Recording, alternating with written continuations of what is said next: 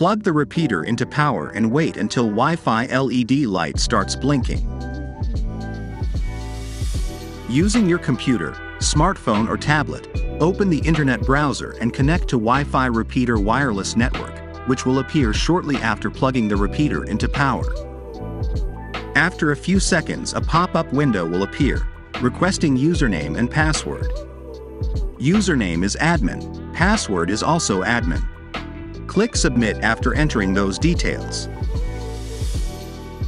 In the next window, select Repeater and click on it.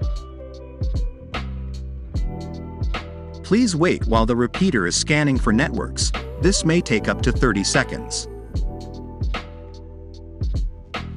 You will shortly see a list of all available wireless networks. Select your network, then enter your Wi-Fi password and click Apply.